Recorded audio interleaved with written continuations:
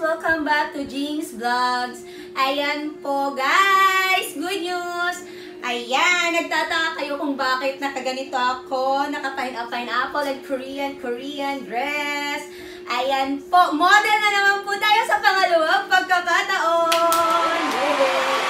Ayan, gusto ko lang po magpasalamat sa Celigine Collection. Please follow nyo po siya sa FB page niya. Celigine Collection po, ayan, yung mga binibenta niya po, ah, mga pantulog, ayan, mga ganito po. Um, taga Bulacan po siya. Nag-order po tayo sa kanya sa Facebook kasi nagustuhan ko yung mga collection niya ng pantulog. Actually, isa po sa mga weakness ko, yung pantulog.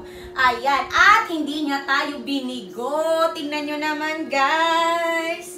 Oh, mayaman-yamanin tayo. Yamanin si Ate Girl kahit wala pang sahod sa YouTube.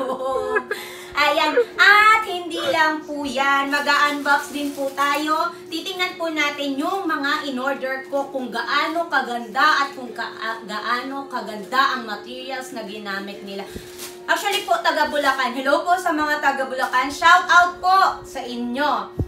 And bago yan, mamaya po mag-a-announce tayo ng winner sa huli. May nanalo na po sa lipstick! Ayan po, panda, ilabas na yan. Tada! Lipstick, guys! May nanalo na kasi 200 subscribers na tayo. Ayan, i-announce ko po mamaya. Pero bago yan, mag-unbox muna tayo. Tapos after unboxing, may challenge po tayo at meron tayong guest. Abangan nyo po kung sino yan. Actually po, isa na po siya sa mga nanalo sa Showtime! Yay! Ayan, unbox na tayo guys.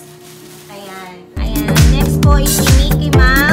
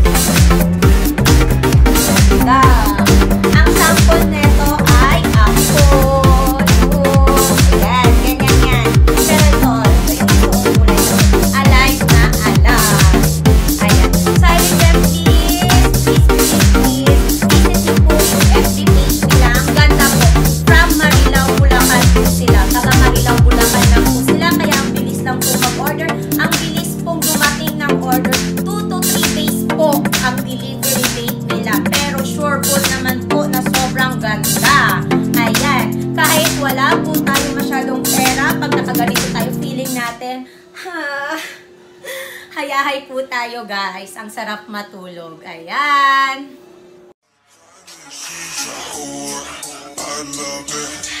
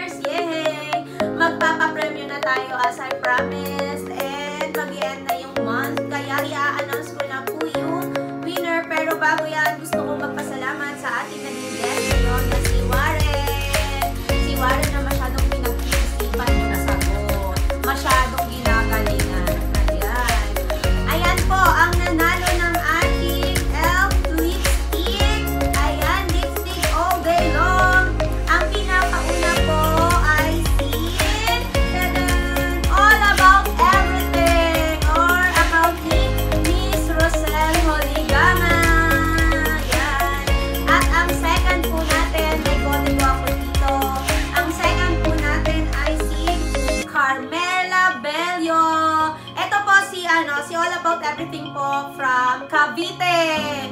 And Carmela Bello, congratulations! Second prize ka po sa lipstick din natin. Yay! Second prize ka po. Um,